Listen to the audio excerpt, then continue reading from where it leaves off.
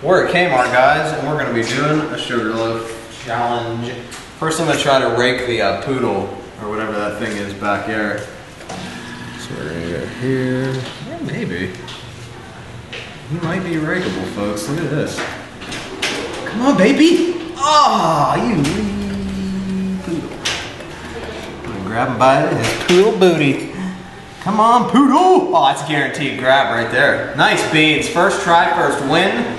Yeah, I got a poodle by the boodle. Poodle by the boodle.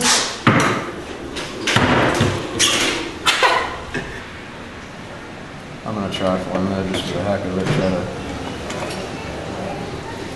Perfect. Oh my god, that might get him.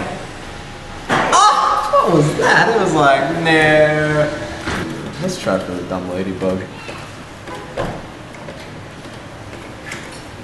Come on, lady. Lady.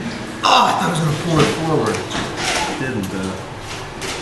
You get the One Direction bear. Should I try for it? Yeah. Even though I don't want it. No, you can give him away. Give him away. Oh my god, I might have him. Come on, baby, get him. Ah. That was a ladybug.